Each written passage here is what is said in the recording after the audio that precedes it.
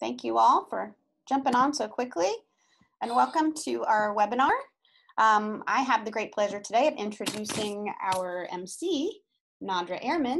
She is a CEC Hello. board member and the residential community manager at the Towbes Group, where she oversees a wide range of business activities and has been a leader in promoting sustainable business practices. She assisted in several green certifications of residential properties and has spearheaded many sustainability initiatives throughout the entire Towbes portfolio.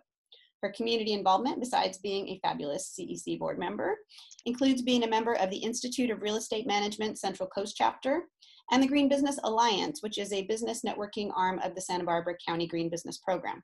She's also a Katherine Harvey Fellows alum. And for years, she has been a rock star Earth Day volunteer at our booth and staying late on Sunday to help us clean up before we all leave. So it's my great pleasure to introduce Nadra. Thank you, Kathi, for that wonderful introduction. I'm so happy to be here. Thank you, everyone, for attending um, this webinar and welcome um, to the Eating, Drinking, and Breathing Plastic webinar as a part of our webinar series. So as many of you in this meeting today may already know, an integral part of CEC's organizational model is providing educational, informative, and engaging events for the community.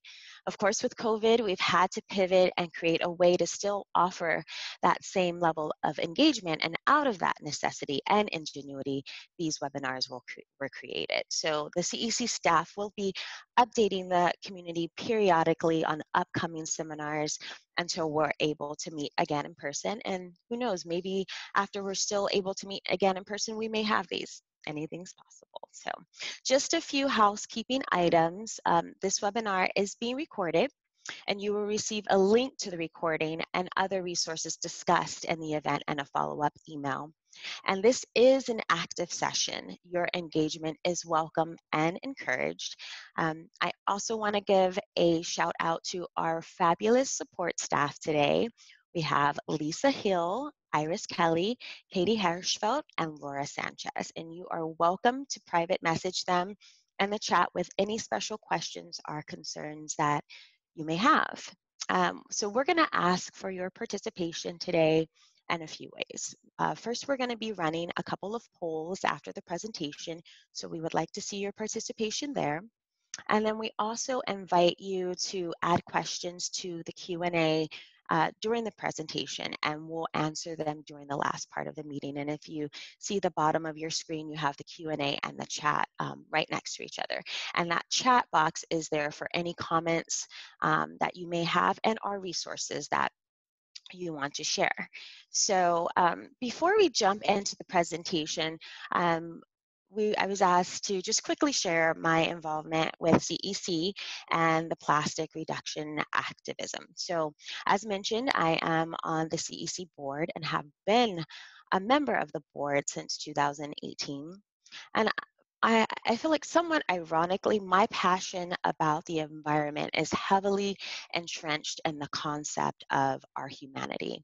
Uh, I believe that how we interact um, with and how we treat um, each other and the environment is a direct reflection of how we interact with and treat ourselves as fellow human beings, um, our individual selves, as a species in general, and not even to mention animals.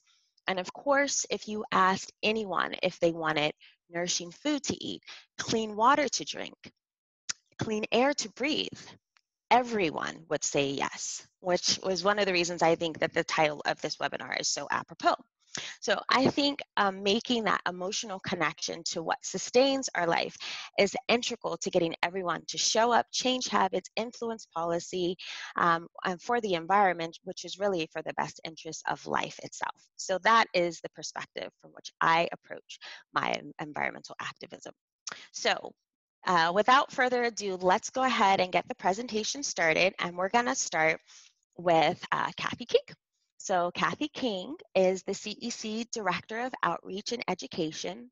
She has been with CEC since 2008 and has been our Santa Barbara Earth Day Festival director since 2015 and has been a rock star in that role, as we all know. Um, Kathi also leads the CEC's Ditch Plastic program, whose work includes plastic policy advocacy and Rethink the Drink program and community education. So, Kathi, um, what are we learning about the ways that plastic pollution is making their way into the air that we breathe? Thank you, Nadra. We are learning a lot about that, but first I'm going to take a moment. Um, uh-oh, not, my slides aren't moving. What happened? Okay, I'm gonna stop screen sharing for a minute because we tried to um, circumnavigate the technical difficulties by doing that and nope, still not happening. What's going on, Iris? You have to exit full screen mode on the slides, I think. We thought we would get around technical difficulties by having these slides up before we started. Didn't happen. That's okay. That's Got it we, back. we we all Right. know how uh, it happens with Zoom sometimes. So Can So everyone see I this? think Yeah. You have I think everyone screen is sympathetic. again. Sympathetic. All right, thanks for your patience. The worst happened and we got through it. Uh, Um, we still got a screen share. I, um, you're not saying this? No. Dang. I'm seeing it. What happened? I knew you should have done this for me, Iris. There we go. There. Perfect. Hey, hey. There we All right. are. Sorry again. uh, it's always it's always the scariest part, the technical stuff. So, how did we get to this plastic planet? Plastic has only been around for about 100 years, and during that time, we've become very dependent on it. There is a saying that says we're only about three feet away from something made of plastic every minute of every day. And if you look around, you will find that that is usually true. What is it made from? Mostly fossil fuels and their byproducts. It starts out as oil and is molded into tiny little pellets that can be turned into just about anything. It's very durable. So lots of products that we use over time are made from it. Some that will be used for generations, like desk chairs in schools and my laundry basket. Modern medicine has benefited greatly from plastics, and we generally do not include that when we talk about single use plastics. So, what is single use plastic? It's mostly personal convenience items like bags, food packaging, and bottled water that are meant to be used and tossed in a short amount of time. They have the potential to last for hundreds, if not thousands, of years and are only used for an average of 12 minutes. Almost half of all the plastic that's made now is single use plastic. We have adapted to this culture of convenience so quickly and are using single use plastic at such a rapid pace that we're having negative impacts on animals, ocean, our land environment, and ourselves. The lightweight nature of this packaging means that it escapes out of collection systems easily. It's estimated that three out of 10 pieces get out that way, making their way into storm drains and creeks before ending up in the ocean. Plastic has become its own crisis, and a recent study really brings that home.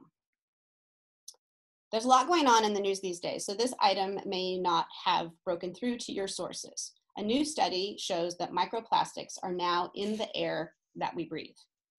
During the pandemic, we've been taking some small solace that nature was getting a break from us and seemed to be flourishing while we stayed away. We marveled at photos of wildlife reclaiming Yosemite and other national parks. Unfortunately, a recent study published in the journal Science has shattered the illusion of a planet healing itself with a discovery that scientists are calling shocking. And that's a word that they don't use casually.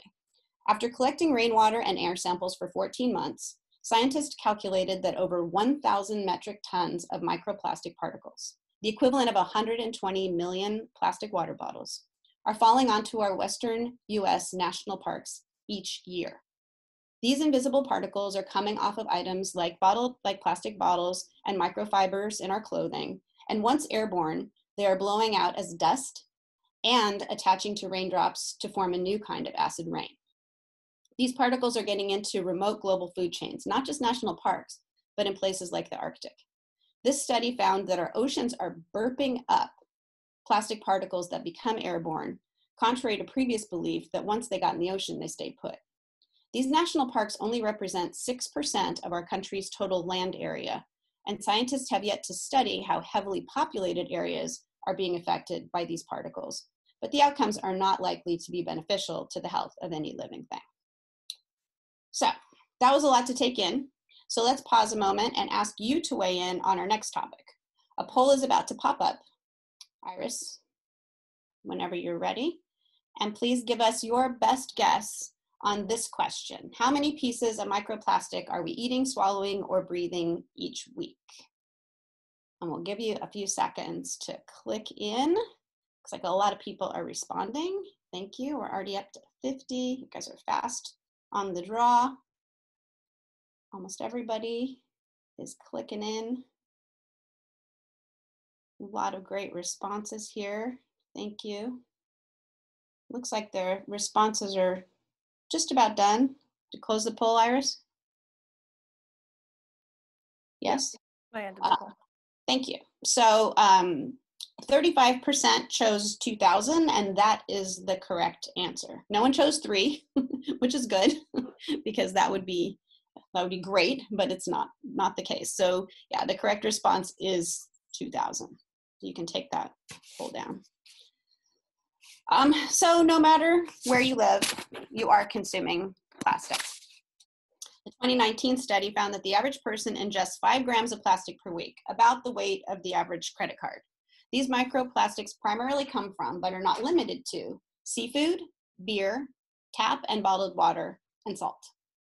While we do not yet know the impacts of this extensive plastic exposure, studies are underway to assess the health risks. Scientists are working hard to discover our threshold rate of tolerance for plastic injection, the dose at ingestion, sorry, the dose at which it becomes a health hazard. This is not yet known. As with other pollutants, the negative effects will be more pronounced in those with underlying health conditions. a stat that I'd like to share from this study that stuck out for me is that those who get most of their most of their water from the tap ingest about 4,000 of these particles a year, while those who rely on bottled water get about 90,000 particles a year. This could mean that there is plastic leaching out of the bottles into the water.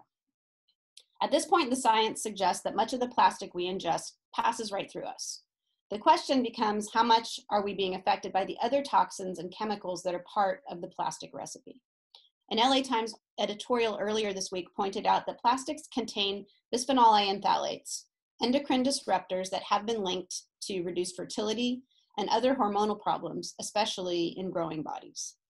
Finally, as concerned as we are about the impacts of plastic to wildlife, these emerging human studies are showing that the plastic crisis is impacting our health too. Thank you. Thank, thank you, Kathi. That was um, very educational, and the it's just there's so much to to take in with that. And um, we think about the end product of the plastics, but then a lot of times we um, don't even talk about the production itself and how many chemicals um, and and the the effects of the the production of the the plastic. So thank you very much for that. So now what I'd like to do is introduce Penny Owens. Penny is the Education and Community Outreach Director at the Santa Barbara Channelkeeper, where she's been since 2004. Penny leads the Channelkeeper's Education Program, spending time with students both in creeks and classrooms, and she also manages their MPA Watch program and their single-use plastic reduction initiative. So Penny, um, take it away. And what I'd like to know is how has um, the pandemic affected our use of plastic? You're, I think you're still on mute, mute, Penny.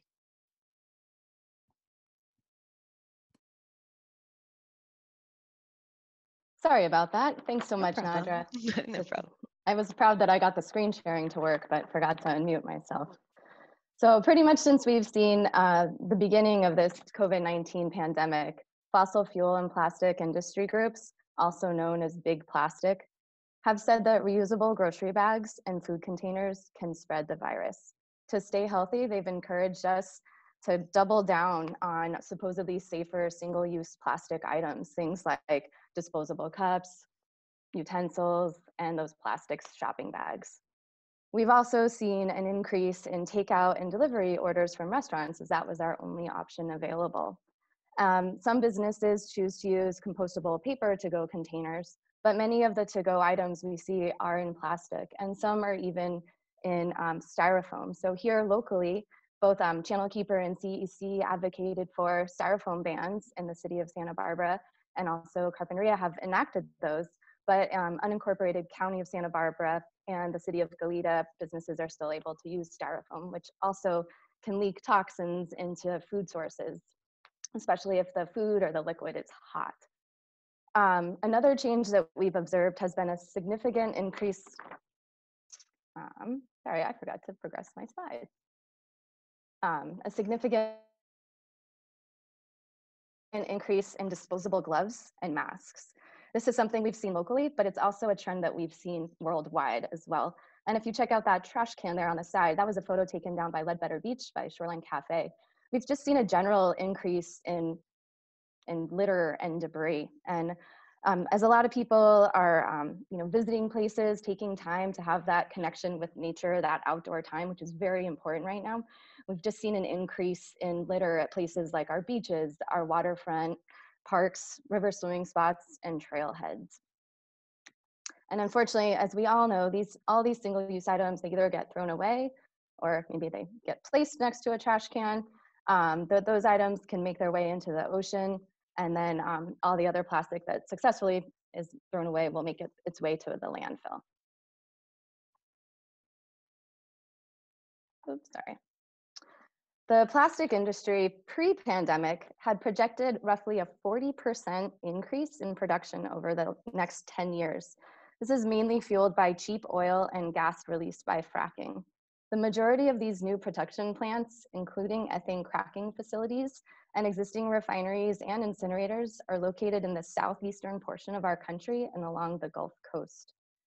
As you might expect, these um, facilities pollute our waterways, air, soil, and plants and food sources. And a recent statistic I just saw was that the EPA has found that people of color are 79% more likely than white people to live in communities where industrial pollution poses a danger to health. In fact, one area in Louisiana where those multiple um, production facilities, St. James Parish, has become known as Cancer Alley. And in our resources we'll provide after this webinar, we have a link to a great series that The Guardian did, taking a deeper look at the rates of cancer in these, um, in these areas. Big Plastic has also worked extremely hard to spread misinformation around the safety of reusables during this pandemic. And now I'd love for Iris to please launch our poll. So as part of this um, misinformation spreading, the, um, many areas have suspended their single-use plastic bag bans um, temporarily. So in California, our governor suspended the um, plastic bag ban earlier this spring. It was a 60-day suspension. Um, it did, he did not extend it um, through the end of June, but during those few months, how many additional bags were used during the bag ban suspension in California? 2 million, 5 million, 1 million, 10 million. I actually,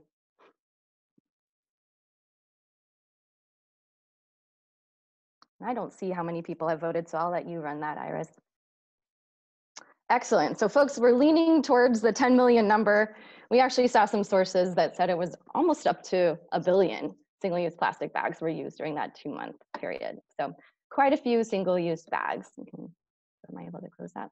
So as I mentioned, they were, um, the plastic industry was successful in um, a, basically a big coordinated PR campaign. They had pro-plastic op-eds, policy recommendations, articles, and they just really pushed this, mis this like aura of uncertainty and misinformation about the safety and health of using reusables. Um, as I mentioned, that California's bag ban is back in place as of the end of June. And here locally, our city council passed an emergency order at the end of April that temporarily, temporarily suspended the 10 cent bag charge. That's still in effect. However, um, you shouldn't be seeing any of those really thin, flimsy uh, disposable plastic bags locally. And I just want to let folks know, as you can see one of our photos here, many of our stores are still concerned about the possible contamination with folks bringing in their own reusable bags.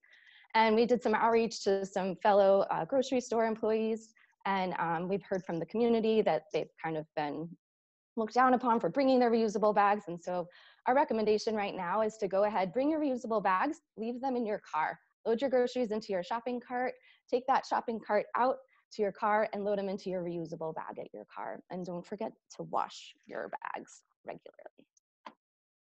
Sorry, my mouse is a little jumpy. And just continuing on with the reusables that are safe, um, this past June 20th, more than 125 virologists, epidemiologists, and health experts from 18 different countries said that it's clear reusables are safe to use during this pandemic. You just have to wash them. A lot of fear that was used um, and spread around the reusable bag by Big Plastic was um, actually referencing quite an old study that was done in 2009 that was industry funded and really failed to draw clear conclusions.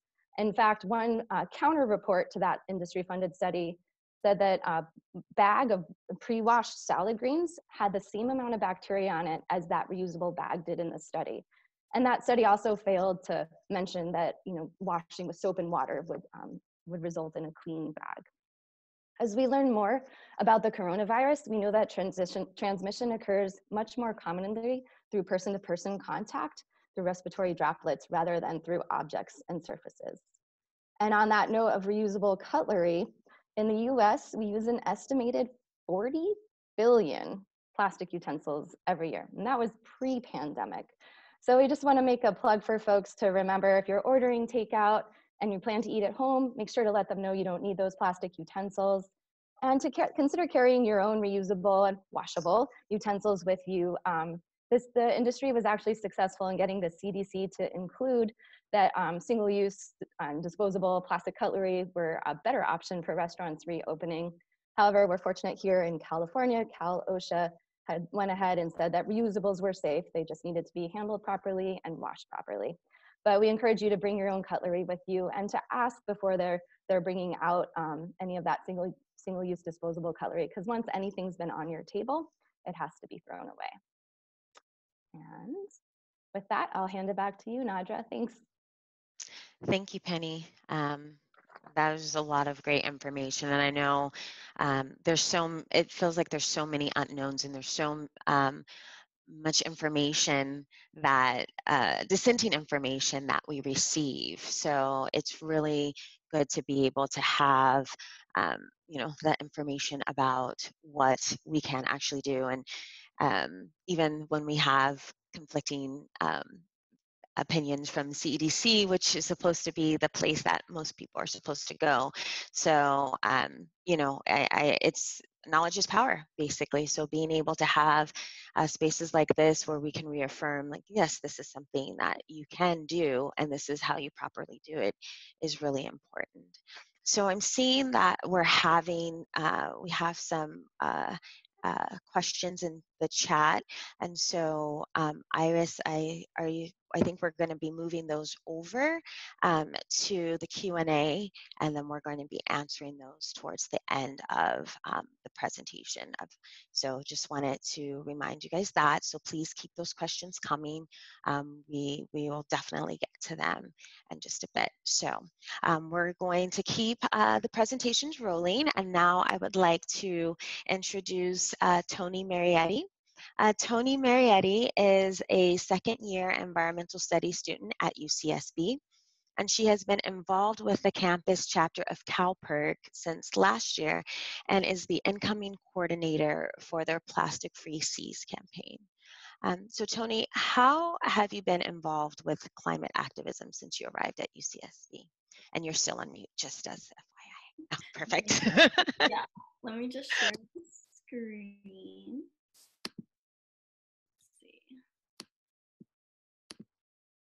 Is this working? I, I can't I can't see your screen yet. Hmm. Okay, let me see. There we go. Perfect. We're going? Mm-hmm. Okay, amazing. Uh, hi, my name is Toni Marietti, and I am so grateful to be here talking about an issue that I am so very passionate about and intend to work on my whole life. Um, after taking my first environmental science class as a senior in high school, I had yet to commit to or even apply to any universities, uh, but I knew with certainty that I was going to be working towards a degree in environmental studies. Um, so in the fall of 2019, I started my courses at UCSB and I was exposed to powerful presentations and points of view that matched my own surrounding our environment. Um, right away, I felt as if I were immersed in a world of environmentalism where people who shared the same passions addressed the issues I cared about with the urgency I always knew they deserved. I truly love learning about the issues we face today, like climate change and plastic pollution and their effects on our past, present, and future, but the most amazing thing I discovered as a student here was that I didn't have to wait to get my degree um, in order to make the change that I wanted to see in the world. Uh, for me, UCSB really didn't feel like home until I found CalPIRG. Um, I joined this public interest research group because of its three main principles to promote civic engagement, make college affordable, and protect the environment. I wanted to barrel past the feelings of anxiety and guilt that come with apathy and actively work towards something that I felt was going to make a difference. Um, I've been with CalPIRG since the start of winter quarter last year, and I can say with certainty that I have steamrolled past passivity um, and achieved things that I never knew I could do as a first year in college. Um, upon first joining, I was an intern on CalPIRG's End Oil and Drilling, um, oil and gas drilling campaign, where I learned grassroots skills and activism, and I petitioned, educated, and helped put on events to publicize the issue of hydraulic fracturing, um, we held a documentary screening of Gaslands, which is an amazingly impactful documentary highlighting the detrimental effects that oil and gas drilling um, have on both the environment and people alike. This was followed by an esteemed faculty panel, uh, which provided insight on both environmental and social issues surrounding this form of drilling, which unjustly um, affects communities of color and shoots a copious amount of toxic, cancer causing chemicals into the earth that leach into water supplies and pollute the air. This campaign ended the quarter with a very high visibility event that um, we called the Human Oil Spill. Not only was Santa Barbara rallying for this issue, which proves local to us, but we came together with the other chapters of CalPIRG across California at the other UC campuses for a UC-wide human oil spill. Um, here is a picture of part of our demonstration on this slide. So for the first part, we laid on the ground dressed in all black while student poets read their work with passion towards this issue. Uh, we then stood up and rallied behind student leaders as they preach the importance of change and taking charge. Uh, we had media coverage and used this to demonstrate to Governor Gavin Newsom that we demand a difference on this form of destruction while educating students on how unjust amounts of energy and resources are put towards this process, which pollutes the planet and leads to the production of oil, which is largely used for the production of plastics. Um, spring quarter was off to a rocky start with the pandemic, which provided much anxiety and uncertainty. But even so, that did not warrant the stop of student activism, um, and CalPIRG continued on its mission with optimism and persistence. We held virtual recruitment drives and found that the want for change amongst our generation is not easily diminished. Um, I began working on our Plastic Free Seas campaign as a tactical coordinator, building coalitions on campus with like minded groups in support of two monumental bills in the legislature um, AB 1080 and SB 54, these two bills would reduce plastics made or sold in California by 75% and make the rest recyclable or compostable by 2030. Um, these would be some of the most progressive bills passed. And we met with Assembly member Monique Limon, um, who stated that she thought they do have the support in the Senate and Assembly in order to pass, but advised us to wait two sessions to try and pass them. Um, with the pandemic and budget cuts in California's government, she felt that if they were to pass now, the enforcement um, would be weak and it would be more beneficial in the long run to work on these bills when they could be properly enforced. So CalPIRG will most definitely continue this work because of how influential AB 1080 and SB 54 will be on this war against plastics in the long run. Uh, but in the meantime, we're going to be taking on many other projects. Um, so I'm super excited to have been made the coordinator of the Plastic Free Seas campaign for next fall, where I will be continuing to work on reducing plastic pollution by seeking to strengthen the UC commitment to phasing out single-use plastics um, and striving to transition IV to being plastic-free. Um, even further, this summer I'm working with CalPIRG's New Voters Project, which has already succeeded in registering thousands of students to vote um, in order to uh, continue this work so that young people's voices are heard in the election this fall, because it is so crucial to make structural change and elect people who are going to pass the regulations and laws needed for more wide-scale change among climate-related issues.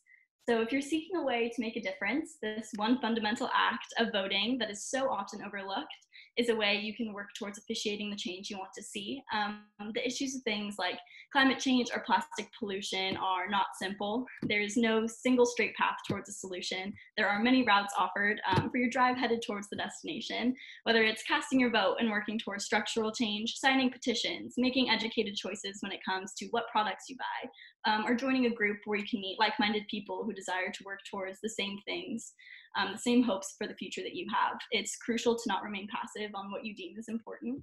Um, these global problems appear very overwhelming sometimes, but ignorance is not bliss. It's super important to be uncomfortable and educate yourself about the state of our world. These problems should not be drowned in pessimism. Uh, we are not helpless in being subjected to the issues of climate change or plastic pollution, nor should we be weighed down by the burden. Um, there's always an action you can take, a habit you can change, or people you can meet that can rid you of that feeling of passivity um, and help you find your way on a road towards change for the better. Thank you so much. Toni for president, yay! that was great, Toni. Thank you so much. That was so inspiring. And um, we're just so in awe of your leadership and um, can't wait to see all the amazing things that you are will and continue to do. Um, and I really appreciate um, the actionable items so important because the information that we get every day there's always a report that oh the it's worse than we had initially uh, you know suspected and there's so much of that. So being able to stay optimistic to be able to not get apathetic to not um, feel overwhelmed is is so important. So thank you so much for reminding of us of us reminding us of that so, um, and that is a great segue into Plastic Free July. And these are definitely actionable items that we all individually can take to make a difference with this. So, um, Kathi, why don't you tell us a little bit more about Plastic Free July? Sorry, I had to unmute there. Thank you. No problem. Penny's queuing up the slide so that I don't botch that again. Um, so, and and you're right. This is you know now we're we've we've talked a lot about heavy issues. Um, and thank you, Toni, for your incredible perspective and optimism. Uh, and and now we're we're pivoting toward what we can all do. Right, and Plastic Free July as something that CEC and Channelkeeper have partnered on for the last few years because it, it is about that. It's about the small changes that add up that we can do. Um, Plastic Free July is in its 10th year this year. It was started by a woman named Rebecca Prince Ruiz in Perth, Australia in 2010. She is she was a um, a city employee looking for a way to create something that would spark people's interest. Um, and now it has grown into a global movement with 250 million participants in 170 countries. And now they even have um, they've created a foundation called Plastic Free Foundation that is an organization doing outreach and education with the core beliefs that inclusivity, solutions focus, and behavior changes can add up and make a big difference. And some fun ideas that I picked out from their website to share, um, and I heard the the um, the founder was on a, a, podcast the other day and she's great um, she talked about doing a home pantry or waste audit you can learn a lot from your own kitchen by just seeing what's there um, and what you can change um, if you're brave enough you can look in your trash can otherwise you know just look in your refrigerator and your pantry and see what um, what adjustments you can make um, you can also be proactive and reach out to companies whose goods you use to ask for them to um, provide more sustainable packaging. They really do listen. Um, Plastic Free July was designed to as an opportunity to recommit to our plastic reduction goals and then keep them going year round. You know, with Earth Day, we say we have the Earth Day Festival to celebrate and come together, but that every day is Earth Day. So we can also make every month Plastic Free July. Perfect, Kathi. Thank you. And um, now we're going to move on to Penny. So, Penny, can you speak more about Plastic Free July um, with the Santa Barbara Channelkeepers as well? Yeah, just to kind of uh-huh. build on what Kathi was saying, you know, some other options. This is really about finding what works for you. And um, it's kind of a journey, and you want to do the best that you can and try to find um, choices and opportunities where you can reduce your use of single-use plastic. So another great tip we heard was to take the shopping cart challenge, where each time you're at the grocery store, you can look at your items and select one or two items that you will remove from your cart and commit to trying to find uh, in a different way, or maybe making your own hummus next time uh, with different options. Another uh, message that we really liked, we've been hearing a lot, is updating the three R's from reduce, reuse, recycle to refuse, reduce, repurpose, reuse, and then lastly to recycle.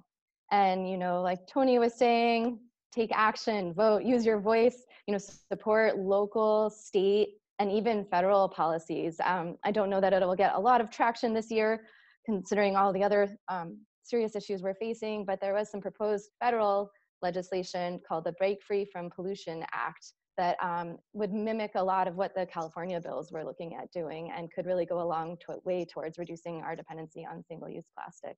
And we just encourage folks take advantage of this opportunity to examine your relationship with single-use plastic and commit to doing better.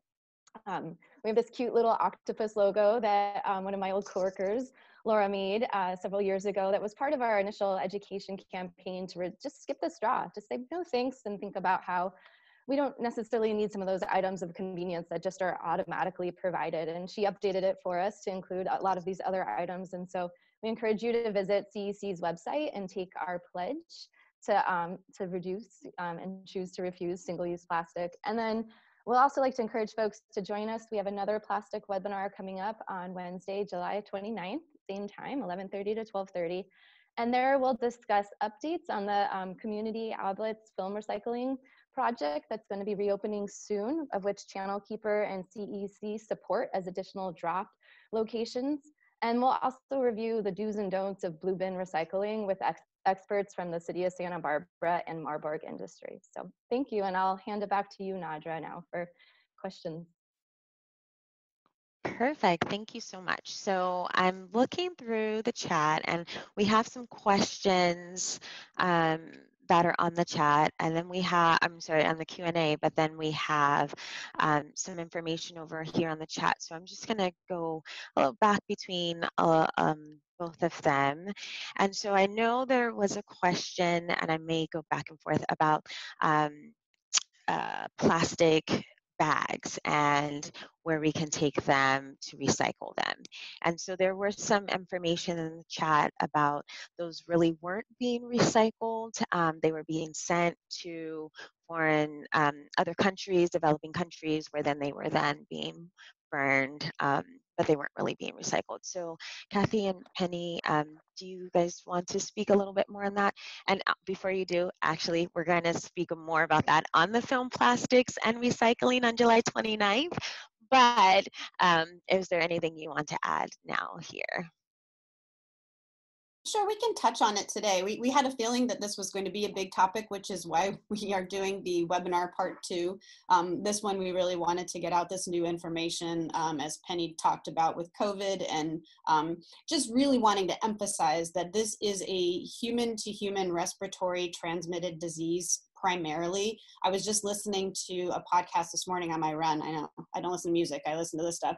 Um, that where there was an epidemiologist who said there has not been one case of surface to human transmission. I mean that that doesn't mean there never will be, but it is very low likely. So the demonizing of these items, um, you know, is really something that we wanted to um, to relay to everyone today so that you might feel more comfortable about your usables and not think that we need to rely on disposables.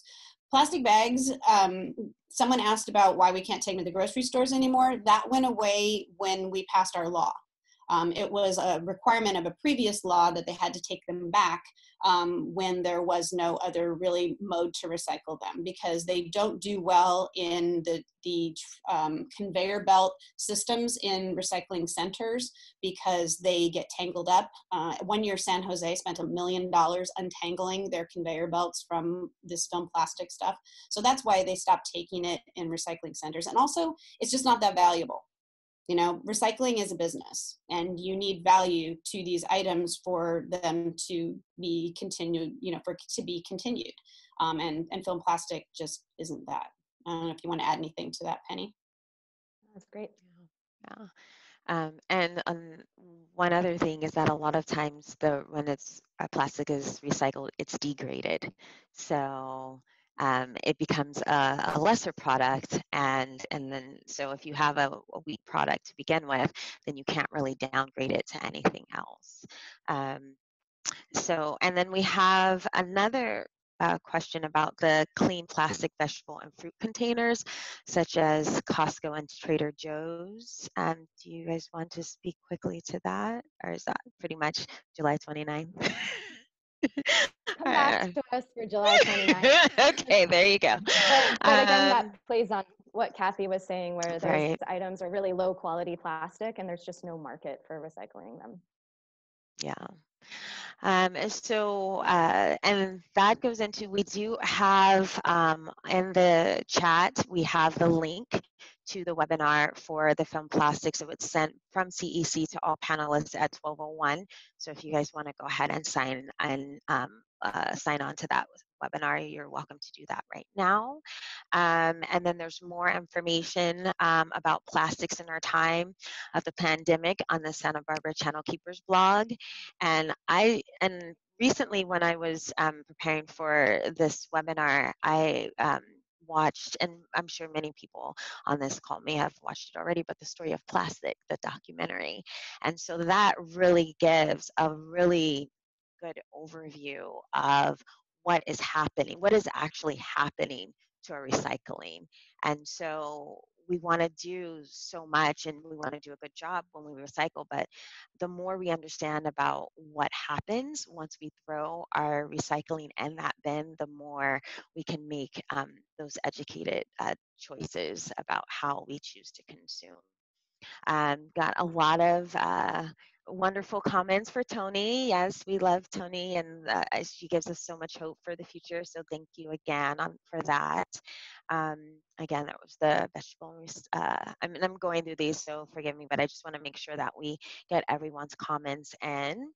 Um, okay, and so I think those were a lot of free repeat. So, um, and there's a lot of information um, that our uh, attendees and participants are giving a lot of good information about the city council and, and different initiatives. So um, definitely check that out. So, but I'm just going to go ahead and start on the, the question and answers. So we have um, a question from Nancy Black. Could you talk about what's happening with recycling and what's recycled today and why it's best not to use plastic to begin with. And I think we we did kind of cover that, but Penny and Kathi, is there anything else that you want to add to that question? Sorry, I was answering a question in the chat. oh, sorry. Um, it said, it's very active, which is great. yes, it is. It's great. It's like, which one do I look at? Yeah, um, yeah. I, I didn't. I was trying not to get distracted by that, but there's a lot of great, great conversation happening there. Um, Definitely. So what was the question again? Um, no problem. Can you talk about what's happening with recycling and what's recycled today and why it's best not to use the plastic to begin with? Thanks. Well, I think that comes around to the motto that Penny and I always share whenever, and we didn't today, but we usually do, which is the best single use plastic is the one that we don't use in the first place. Um, right? Do you want to add to that absolutely yeah absolutely and and i think you know as far as what's happening with recycling and what is uh, what you're able to recycle today we're absolutely going to cover that in a lot of depth in the next webinar coming up later this month but you know truly like your question why, and why it's best not to use it in the first place that absolutely is the the best course of action is to reduce your use of those items as as as much as you can. And it's not about going to zero right? It, it, with all of this you know our carbon footprints are never going to go to zero. It's just about reduction and balance finding that balance of you know the things that we absolutely need that come in this material and the things that we can find workarounds for right? And sharing that information. It's like climate change you know the, the, the anyone who is an expert in climate change communication will tell you that talking about it is you know first and foremost right now. We just have to have it be part of our everyday conversation. Um, and i'd like maybe Toni could weigh in on that with how she's dealing with that with fellow students because it, it can be a downer. And this can be a downer too but also just you know talking about it, you can find you can learn good tips from people um, with with how they are managing, you know, to use less plastic. You know, Nancy Black in the chat is saying that she's trying to go 100%, which is, is a huge goal. Yeah. Um, maybe we need to get her to, to come speak about that. But, but it's it's not about getting to zero, right? It's just about as as much reduction as you can have as you can handle, and that all adds up, right? Definitely. Um, so we have another question from Kristen Hogue. The plastic industry lobbyists are pushing to eliminate plastic bag bans altogether, claiming that reusable bags pose a public health risk. What is the C what is CEC doing to reverse this single-use trend? I can take this one, Kathi, if you want. I, I kind of I talked about this a little bit in my slides, um, where they actually were quite successful in getting several state and municipalities to either temporarily suspend or to delay implementing single-use plastic reduction policies. That said, several of those have actually moved forward now, while a few have continued to um, delay during this kind of health crisis issue that we're dealing with. I think one of the main things we can do is to educate folks about what's happening and encourage them to speak up and engage with their community and let elected officials know they support these these policies because that's what's happening is they have such slick lobbyists coming in and hitting him hitting these elected officials from so many different angles. You know they're just hearing they're hearing all this misinformation they're kind of spinning information. So just talking about it talk about it with your peers and your colleagues in your community encourage folks to get involved and to into dialogue and communicate with elected officials so that when they're able to give a little bit of bandwidth to these these issues they're informed and ready to make good decisions. Definitely. Yeah just like you said having it part of the conversation and being informed is really a powerful tool that it seems like oh that's great and all but what can i do? But actually that is a good step like just being able to be informed and to share that information um, is is really really helpful so we're going to move on to the next question um, from Peggy Payton. How can we get the source of single-use plastic instead of putting the onus entirely on consumers? How can we influence policy regarding big plastic? Great question, Peggy. It is a great question, and it, it's I think with with as with so many of these issues, it is a top-down, bottom-up issue. You know, we need to, as consumers, do the best we can, but we also need to put pressure on manufacturers to assume some producer responsibility. You know, they, they are just allowed to externalize all of their costs in terms of disposal. And plastic has proven to be one of the worst on the disposal side of, of, any of these products you know aluminum like you were talking about the how it degrades when it's recycled aluminum glass paper you can continually those are actually recyclable items but plastic really has never fit into that model um, and yet they're allowed to continue making all this plastic willy-nilly um, and i think it really does they really do listen when someone takes the time to contact um, them companies because so few people do take that time. So it, it can make a difference. Yeah, definitely.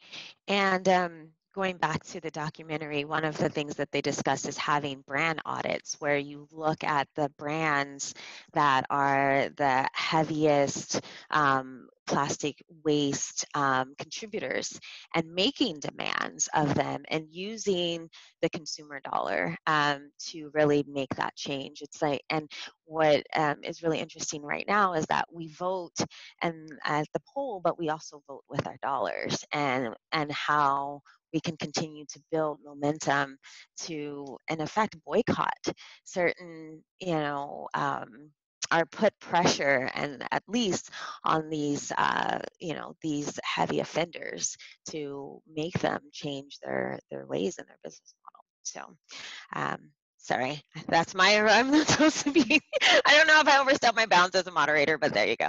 So Patricia Card, um, the next question, what makes plastic have value, uh, quality or value? How is one kind more valuable than the other? Um, well, to my knowledge, numbers one and two are the most recyclable. They are more they're more sturdy. They're not that you know flimsy, squishy type. Um, and and also the larger items.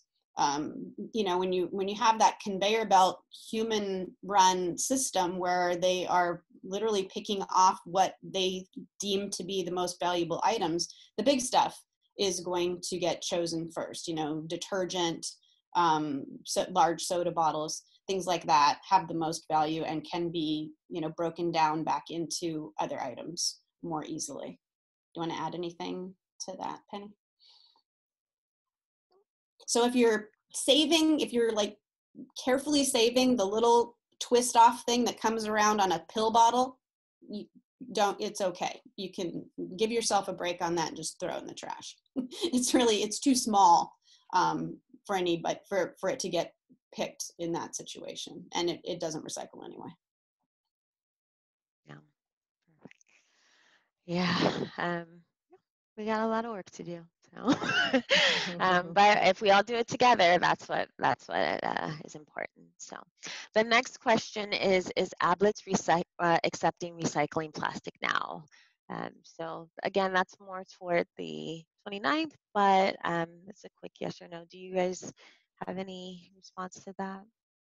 Sure. I saw that there were quite a few questions in the chat about that, and and some other questions that were even um, responding to our comments that a lot of that film plastic and some of the other types of plastics besides number one and two are not as valuable. Well, then why is Ablets able to recycle this? And part of that's because it's a consumer source sorted uh, plastic, so it's it's not having to go down that conveyor belt and jamming up machines. That film plastic is already source separated into only clean and dry film plastic and the Ablets um, program is coming back online soon. We'll talk more about this later.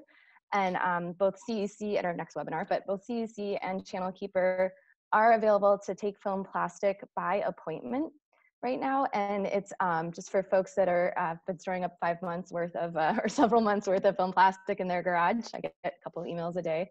Um, we uh, just want to let folks know that we're going to try to implement a little bit slightly different pro- procedures so that folks are going to be sorting their own film plastic with either staff from Channelkeeper or CEC or Ablets until they get to a point where they feel like they are um, 100% certain we're only getting absolutely the correct types of film plastic and that it's all dry and clean. And then they'll be able to schedule drop-offs still by appointment only at specified times. So, um, uh, and yeah, that's all I have to say about it now. Kathi, do you want to yeah. add to it or? No, I didn't want to add to that. That was great, and we will cover that um, in more detail in a few weeks. But um, I, I, saw I saw a question in the chat about the statewide bills, um, and and Toni had touched on them in her talk. Um, and maybe I wanted to give her a chance to explain to us a little bit more about these because um, they, they're potentially monumental um, if they pass. So Toni, do you want to share a little bit more since people are asking what AB 54 and SB 1080 are about?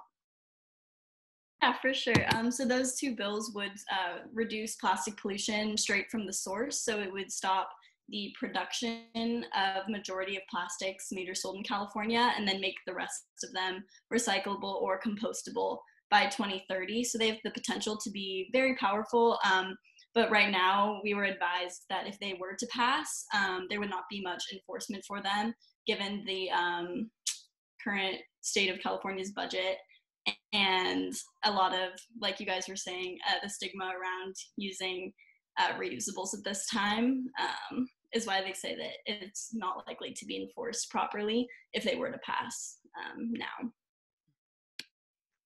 One thing that i did hear about those um, is that the reusable um, sector will create more jobs than either the recycling or the disposable sectors. So those are kind of good things to push on when we're talking to people who might not um, be as concerned about the environmental impacts of these things, but that there is job creation associated. Um, certainly, I think no one no one was going to think ill of job creation, especially right now. Yeah. And somebody just somebody thank you, Michelle from mm-hmm. um, Monique Limon's office just put a link to the um, bill in the chat. Thank you. Perfect. Thank you, Michelle. Um, and so we have a question in the Q&A. Can you identify and talk more about the California proposals to reduce plastics, which I pretty think um, much we just covered that, so we'll, we'll go ahead and move on. Okay, so um, we're going to go to one more question.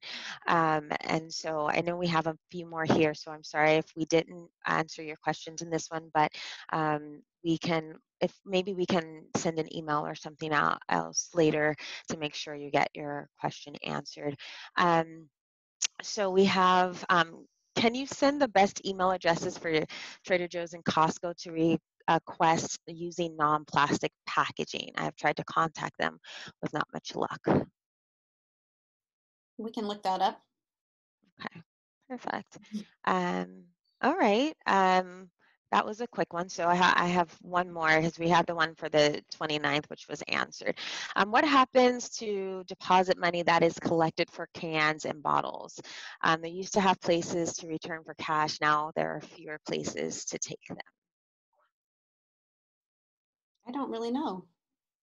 Yeah. I think that the I think that the stores get to keep some of it, and then some of it's supposed to go into a fund. Is that what happens? Yeah, some of it goes back into a statewide fund. I'd have to look up information on that um, as well. But yeah, I've been following. They've closed quite a few of the recycling centers.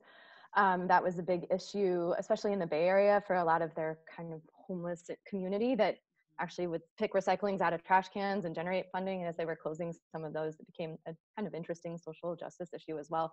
But here locally, I actually think I just heard this week that MarBorg had those recycle centers available if you did want to do the CRV cash redemption for your cans and bottles. And um, they had to close those this week due to um, a COVID 19 um, situation. So keep, I would check the websites to see if they're open locally and um, I'd dig a little, I'd have to dig a little bit more for a better answer on, you know, where that funding is going.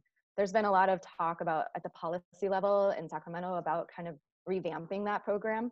And I think some of that would be part of some of those statewide recycling bills as well.